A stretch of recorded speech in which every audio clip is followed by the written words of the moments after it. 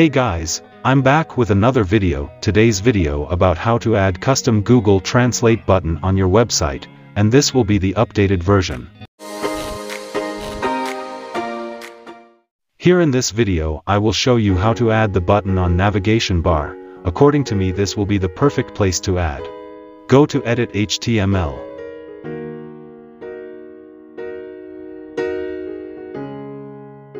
Find search button code, if found then just below add translate button code.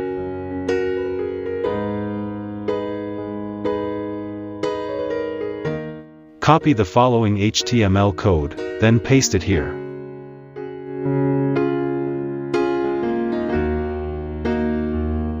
To add more languages or to change, you can do that easily, just like this.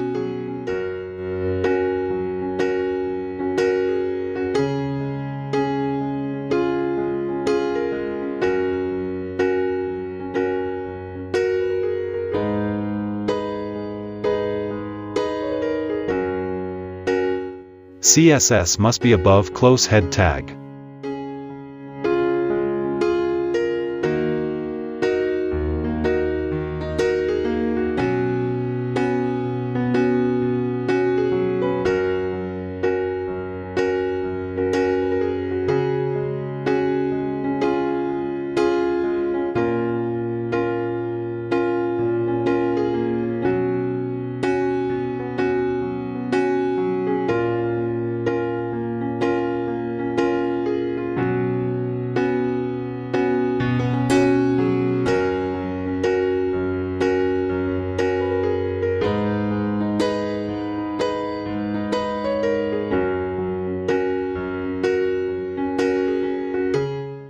By adding this you will get more potential readers all over the world.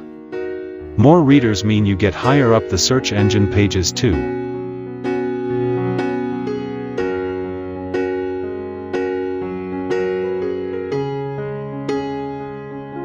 May in some template the button not show properly, but you can adjust the button like this way.